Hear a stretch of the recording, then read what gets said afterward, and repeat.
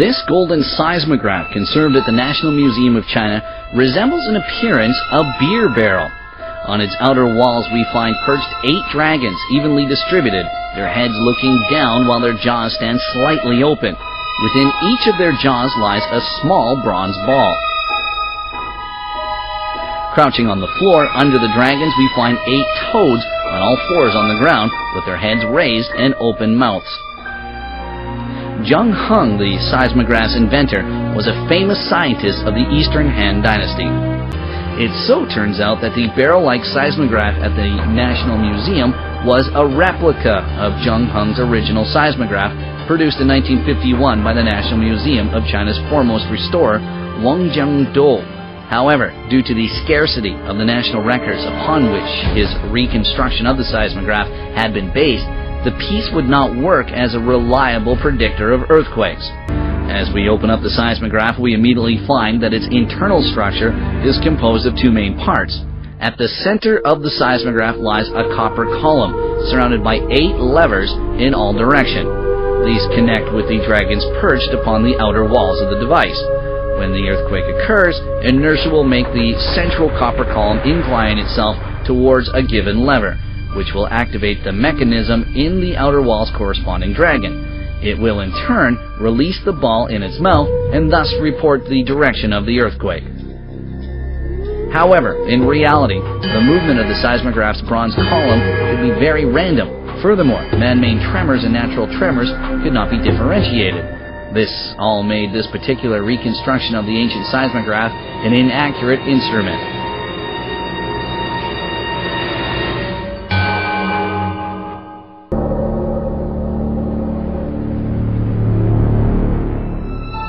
In 2002, a small research team composed of seismologists and archaeologists was created to investigate how best to reconstruct the famed seismograph of Zheng Heng, which had gained fame during the Eastern Han Dynasty. The first thing that needed solving was the interior mechanism of the seismograph to make it successfully point out where earthquakes had happened. Earthquakes are caused by the movement of rock formations under the Earth's crust, while any other shockwaves will produce vertical tremors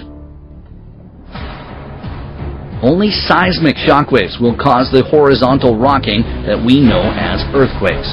Hence, a seismograph's monitoring of earthquakes must react to the horizontal rocking of the Earth's crust caused by seismic shockwaves. It must, at the same time, block out any interference caused by any other type of vertical movement, which is certain not to come from an earthquake. The research team thus installed a bat-shaped pendulum at the center with eight evenly spaced levers around it, each of them linked to the central pendulum with their corresponding eight small bronze balls on the outer wall. During mock earthquakes, the pendulum would indeed rock to and fro. This, however, would activate the two levers in the direction of the earthquake, as well as the one on its opposite side, releasing the two corresponding bronze pellets. It thus seemed that by using simple pendulum theory, one could only get two opposing pellets, one of which was placed in the direction of the earthquake. However, it remained a mystery how one could accurately find out which one of the two pellets actually represented the direction of the earthquake. The only actual historical records regarding Zheng Heng's original design were 196 characters in a short passage called Zheng Heng's biography in the Book of Eastern Han. A particular part in the text attracted the expert's attention, where it was stated that Zheng Heng's seismograph two crucial components called a guan and ji within the machine's mechanism.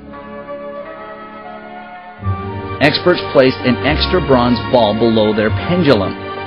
This was the guan record spoke of, which would increase the sensitivity of the pendulum.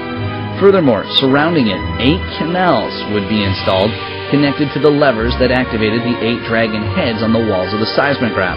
These were the Ji, as the shock waves from the earthquake came in, the pendulum would start moving in two opposite directions, while the bronze Guan pellet would roll down one of the canals at which end stood of one of the levers, or Ji, which would release the bronze ball within the dragon's mouth.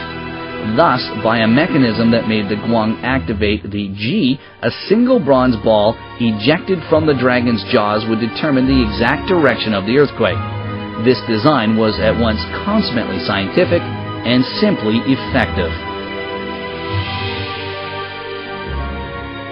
All that was left was actually testing the device. The experts first placed a number of spring toys around the seismograph on the seismic simulator. As soon as the simulated tremors began, the spring toys began moving frantically up and down, clearly not the reaction to a natural earthquake. Yet, neither the pendulum nor the small Guan pellet on the seismograph registered any reaction. This proved clearly that the device would not be fooled by artificial interference. Then, experts produced five simulations of what would be actual earthquakes. As soon as the simulation began to cause horizontal rocking, before it would have become perceivable to humans, the small ball inside the seismograph had already rolled down one of the canals, activating the mechanism that accurately identified the direction of the earthquake. Thus, the internal mechanism of the ancient seismograph had finally been successfully reproduced. In the passage on Zheng Heng's biography in the Book of Eastern Han, we find the seismograph described as a Zun liquor decanter. The Zun is one of the classic ancient Chinese liquor vessels. Amongst unearthed pieces from the Han Dynasty, one finds several Zun decanters. This is the Hufu Western Han Dynasty Zun unearthed in Shanxi Province in 1962, while this is a Phoenix Zun from the Eastern Han Dynasty. From these examples, we find that the Han Dynasty Zuns were round in shape, with straight walls and deep abdomens, nothing like a beer barrel. Again, referring to the historical records leads those seeking a faithful reconstruction of the Zheng Heng seismograph to revise their designs for the dragons and the toads. The dragon is a totemic symbol of the Chinese nation, and its image has undergone a gradual evolution through the ages. The 1951 reconstruction of the seismograph's flamboyant dragons are as how they would have been portrayed during the Ming and Qing dynasties. However, Han Dynasty dragon bodies would have simpler, terser figures. Even the position of the toads in the overall design have been changed and have them with their backs facing the body of the seismograph, from where they can both receive the falling bronze balls and serve as the feet of the entire piece sustaining the base itself. The new reproduction was 2.8 meters tall, with a diameter of 1.88 meters, circular with straight walls and a domed ceiling. Eight dragons are perched on the walls of this masterpiece, each with a bronze pellet in their jaws, while the golden toes at the bottom sustain the entire seismograph, their heads lifted and their mouths open wide. The entire piece is of a magnificent golden color. Zheng Heng was a renowned scientist during the Eastern Han Dynasty, famed for his interdisciplinary character. The United Nations commemorated the contributions of Zheng Heng to humanity by naming a round hillock on the back of the moon Mount Zheng Heng, while the star numbered 1802 in the solar system is named after Zheng Heng. Zheng Heng's masterpiece is the father of all seismic instruments. Indeed, according to ancient records, it measured an earthquake in western Gansu province in 134 AD. By then, Zheng Heng's seismograph had been placed within the capital of Luoyang. One day, one of the bronze pellets from the seismograph suddenly fell.